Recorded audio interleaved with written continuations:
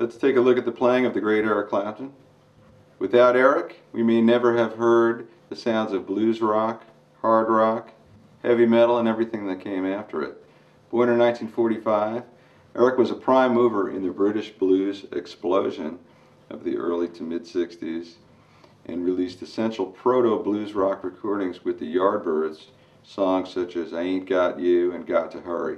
From there, he moved on to John Mayall's Blues Breakers and the solos that he recorded in his mind-boggling guitar style that you can hear on songs like Steppin' Out and Hideaway and Double Crossin' Time are among the most influential and powerful blues rock recordings anyone's ever heard.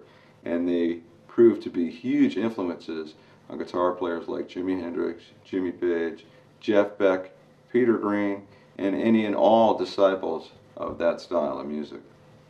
Armed with his 1959 Les Paul guitar and Marshall JTM 45 amplifier, Eric, on the recordings with John Mayall's Blues Breakers, created an entirely new sound and the heavily overdriven quality of the guitar and the incredible sustain was basically at the time the sound of the future and to this day is regarded as the template for the sound of blues rock.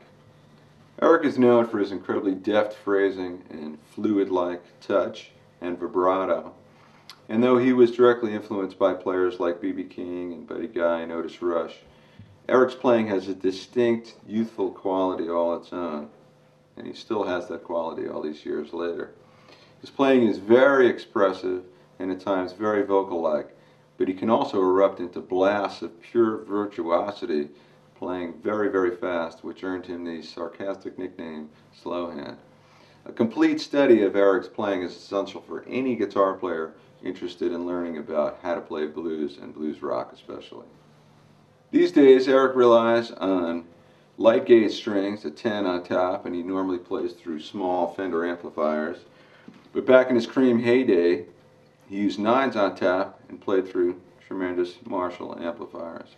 For guitars, he started out with a Telecaster in the Yardbirds, then moved on to Les Paul standards with the Blues Breakers, and with Cream, moved over to SGs and 335s. Uh, and during his time with Blind Faith, he started to play Fender Stratocasters, continued to do that in Derek and the Dominos, and that remains his guitar of choice to this day. One of Eric Clapton's greatest solos is the one he cut for the Cream song Badge. Badge is in the key of D, and the solos are based primarily on D minor pentatonic. So this next example is played along the lines of that solo.